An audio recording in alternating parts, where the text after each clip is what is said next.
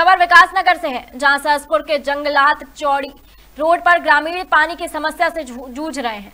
परेशान ग्रामीणों ने बताया कि सरकार तो अपना काम कर रही है, लेकिन जिम्मेदार अधिकारी सहित ठेकेदार लापरवाह बने हुए हैं।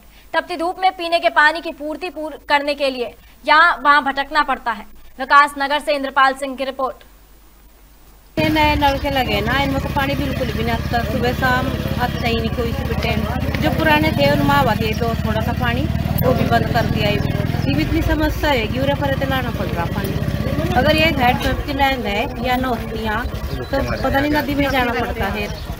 बस पूरे पर लावा ये जो पुराना कनेक्शन है, इसमें कहीं दिन तक भी नहीं आ रहा। उसमें थोड़ा थोड़ा आवा था, उन्होंने कुछ तो बंद कर दिया था, कुछ थोड़ा थोड़ा छोड़ रखा था। हमारे गाँव में, हर गाँव में चल रही है। और ये हमारे घर तक पहुँची ज़रूर है। लेकिन इसका हमें कोई लाभ नहीं मिला। अब तक। छः महीने से नल गड़े हुए हैं कोई पानी नहीं मिला हमें।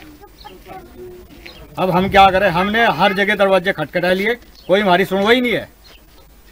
टंकी टुंकी जो गाड़ी इन्होंने हमें नहीं पता गहराई में गाड़ी या नदी में गाड़ी हमें हमें कोई पता नहीं कितना पैसा कौन खाएगा कौन ढकाएगा हमें कोई पता नहीं। हमें तो पानी जो पहले मिलता था अब वो मिलता ही नहीं बिल्कुल भी। कौन सा गाँव है ये? सैसपुर है जी ग्राम सैसपुर